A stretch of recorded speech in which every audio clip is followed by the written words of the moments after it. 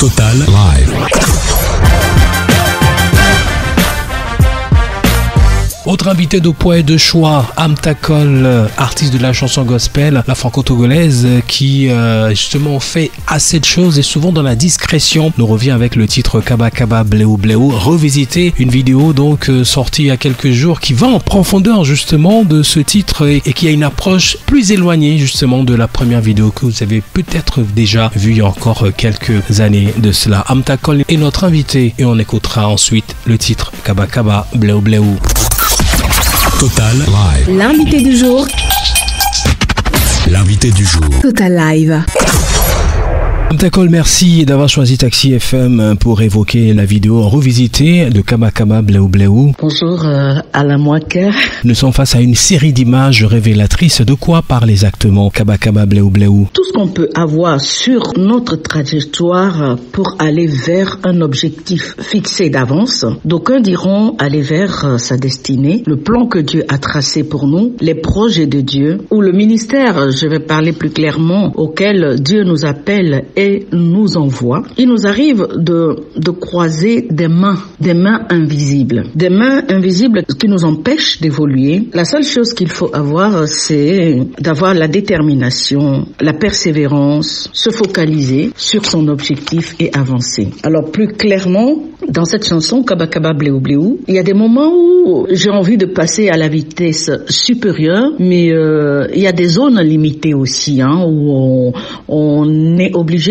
de lever les pieds, de rétrograder la vitesse et d'aller doucement. Donc tout va dépendre de, de, des circonstances, des situations ou des défis que nous avons devant nous. Alors aller chez le roi, aller chez le créateur, il y a plusieurs manières d'aller chez le roi, chez le créateur. Je peux aller dans sa présence, le louer, l'adorer, demander euh, qu'il m'éclaire. Et euh, mais je peux un jour aussi aller chez lui quand je quitterai ma mission sur cette terre mais de quelle manière je vais y aller? Est-ce que je suis pressé dans ce cas-là de, de me retrouver euh, en dehors de la terre pour aller physiquement vers le roi? Peut-être oui, hmm, si j'ai l'assurance que je vis mieux là-bas, si j'ai une vision de, de ce que aller chez le roi me réserve, mais euh, c'est pas pour autant non plus que euh, on n'accomplit pas la mission qui nous a confiée ici sur terre. Donc il faut faire ce qu'il y a à faire en temps et en heure, quoique des fois Dieu rachète le temps. Et c'est aussi euh, une façon de renvoyer la question à tout un chacun. Euh, comment tu ferais un jour, euh, tu quitteras cette terre, où vas-tu? Et de quelle manière tu y vas? Est-ce que tu es pressé d'y aller? Est-ce que tu prends le temps d'y aller? Tout doucement mais sûrement Là est la question. Vous consacrez votre vie à votre ministère dans le secret. Parlez-nous de la caravane d'Afrique et des actions que mène Dieu partout. Mon ministère, je n'ai pas de ministère. C'est le ministère de mon Seigneur. C'est lui qui conduit. Et il fait de moi ce qu'il veut, quand il veut, où il veut, avec qui il veut. Et moi, je cherche continuellement sa face, je cherche à l'entendre, à, voir son orientation et euh, à, à voir, à comprendre dans quelle direction il veut que j'aille. J'ai vraiment cette crainte de faire les choses qui ne soient pas la volonté de Dieu. J'ai cette crainte-là. Alors, si je dois vous parler de la caravane d'Afrique aujourd'hui, ici et maintenant, je mettrai plutôt l'accent sur la production des musiques et des clips que vous voyez en ce moment. Des semences qui sont mises à terre, euh, que ce soit à Dapaon ou dans le plateau. Ces semences qui euh, annuellement sont destinées euh, à faire une redistribution, à aller vers les veuves et les orphelins, les nécessiteux, Maintenant, chaque année, le Seigneur me donne l'orientation et, la direction qu'il faut.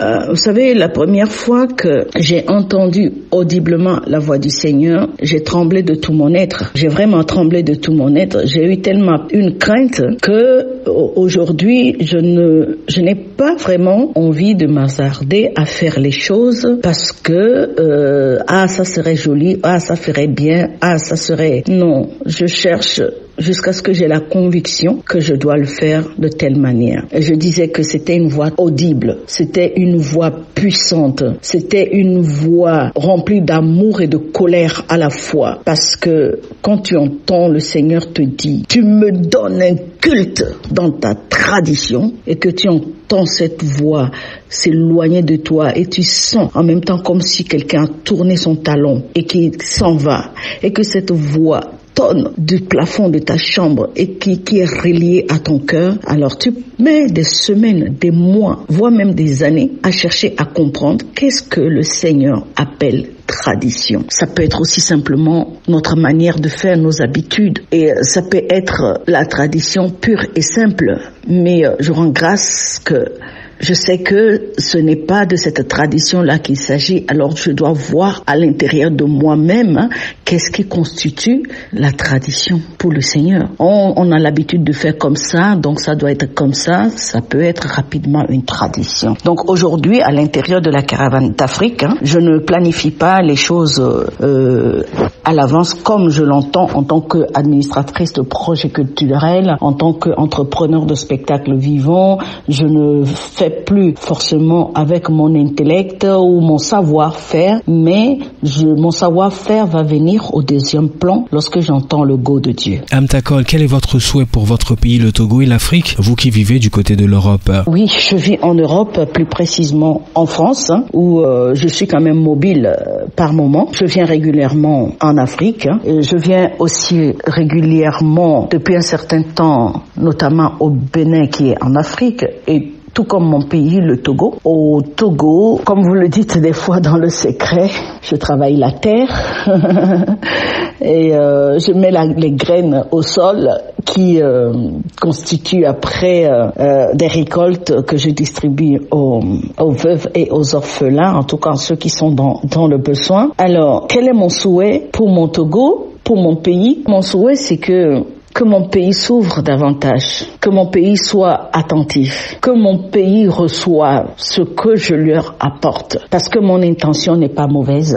Et que euh, mon pays puisse accompagner, vraiment. Parce que c'est vrai qu'il y a des moments où c'est le Seigneur qui nous conduit, hein, mais il y a des moments où on a l'impression que euh, ceux vers qui on va ont ce besoin, mais que les organismes en place ne, ne mesurent pas tellement la nécessité de d'envoyer cette goutte d'eau dans la mer, alors que la mer est constituée de plusieurs gouttes d'eau. Quand vous me parlez de l'Afrique, le Bénin fait partie de l'Afrique. J'ai commencé effectivement à déployer aussi un petit peu sur le Bénin. En tout cas, mes collaborateurs qui sont au Bénin, j'aime cet état d'esprit qui est en train de se mettre en place et j'espère qu'il y a des belles choses qui vont se faire aussi à partir du Bénin. En Europe, écoutez, en tant que musico thérapeute, hein, je donne de mon expertise euh, à l'hôpital psychiatrique où je travaille en musicothérapie. Mon souhait est également aussi que euh, mon cher pays, le Togo, puisse en bénéficier. Quand on parle de la thérapie, quand on parle des thérapeutes, quand on parle de musicothérapie, euh, je ne suis pas euh, focalisée uniquement sur euh, des institutions, sur des hôpitaux. Monsieur, Madame X, tout le monde, à un moment donné, à un étage de sa vie, a besoin, a besoin avec qui parler et parler de quoi. Ça peut être du travail, ça peut être de la vie de tous les jours, ça peut être le couple, ça peut être les enfants, ça peut être le foyer, ça peut être la relation mère-enfant. Et c'est pour ça d'ailleurs qu'entre-temps, j'ai mis en place euh, les instants thérapeutiques, les rencontres avec les familles au Togo. À quand la prochaine caravane d'Afrique Version concert, spectacle et prêche? Vous êtes en train certainement en train de parler de Sing and Pray. Une fois la base bien fixée au Bénin, on, on verra, on verra bien, euh, puisque le Togo, quand bien même étant mon pays, par moment euh, est difficile d'accès. L'accessibilité aujourd'hui, euh, pour moi, pour collaborer, pour mettre des choses en place, me semble pas du tout évident. Mais je remercie mes collaborateurs qui qui qui essayent de de me faciliter l'avancée de de cette production, de ce travail-là sur le Bénin. Et j'ai espoir que le Togo va que le Togo va, va rattraper les temps je ne veux pas dire les temps perdus, mais les temps qui nous a manqué de part et d'autre de faire de grandes choses. Vous avez posé vos valises récemment au Bénin pour la réalisation de vos clips. Le Bénin est-il désormais votre terre de prêche? Pourquoi pas? En tout cas, il y aura aucune terre africaine qui, qui refusera d'accueillir euh, un enfant du continent. Hmm? Je suis dans la caravane d'Afrique. Le Bénin fait partie de l'Afrique et ce que je fais aujourd'hui au Bénin peut se faire dans d'autres pays d'Afrique. Il suffit de trouver la bonne pointure à ses pieds. Je voudrais pas finir ici sans remercier Marco Polo, le réalisateur qui a tourné les, images dont vous parlez tantôt, euh, Avame Godot et puis euh, Kaba Kaba Bléou Bléou. Il y a toute une série de clips qui, qui vont arriver encore. Écoutez, pour l'instant, euh, les choses se passent plutôt bien. Alors pourquoi changer l'équipe qui gagne? Voilà. Je vous remercie. À bientôt. Total Live.